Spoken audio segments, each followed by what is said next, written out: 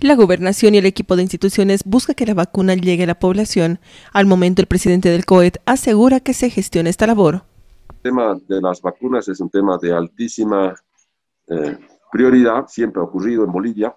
Se priorizan los departamentos con mayor población, como son eh, La Paz, Santa Cruz, Cochabamba, y los departamentos eh, llamados marginales, como Tarija, siempre se va al último por su población por muchos factores, esto ha ocurrido siempre. Por eso Tarija, por su cuenta, ha venido haciendo gestiones, ha venido recogiendo información, buscando opciones. Eh, este es un trabajo que se lleva desde hace bastante tiempo.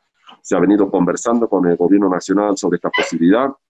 Y hoy lo que existe es todas esas, esas gestiones y un seguimiento. Por un lado, eh, las gestiones que hace el gobierno nacional y por otro lado, el, departamento. Lo que no se va a hacer es hacer duplicidad de, esfuerzos, duplicidad de recursos. Lo que se va a hacer es buscar la mejor opción.